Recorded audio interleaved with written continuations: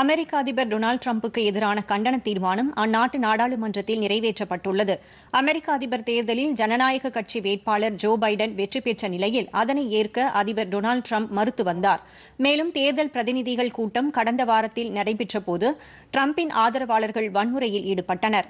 இதை அடுத்து வன்முறையை தூண்டியதாக டிரம்புக்கு எதிராக கண்டன தீர்மானத்தை அந்நாட்டு நாடாளுமன்றத்தில் ஜனநாயக கட்சி உறுப்பினர்கள் கொண்டு வந்தனர். இதற்கு ஆதரவாக இருநூற்று முப்பத்தி இரண்டு பேரும் எதிராக நூற்று தொன்னூற்றி ஏழு பேருக்கும் வாக்களித்தனர். இதன் மூலம் டிரம்புக்கு எதிராக இரண்டாவது முறையாக கண்டன தீர்மானம் நிறைவேற்றப்பட்டுள்ளது. அமெரிக்க வரலாற்றில் இரண்டு முறை கண்டன தீர்மானத்தை எதிர்கொண்டவர் என்ற நிலையை டிரம்ப் எட்டியுள்ளார். மேலும் டிரம்புக்கு எதிரான தீர்மானம் மீது செனட் சபையில் விரைவில் விவாதம் நடைபெறவுள்ளது.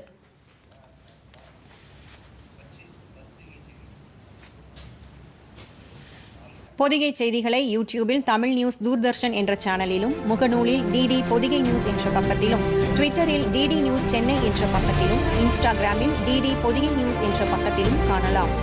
மேலும் உங்கள் கருத்துக்களை Podhigai DD news at Gmail dot com என்ற மின் அஞ்சலில் தெரிவிக்கலாம்.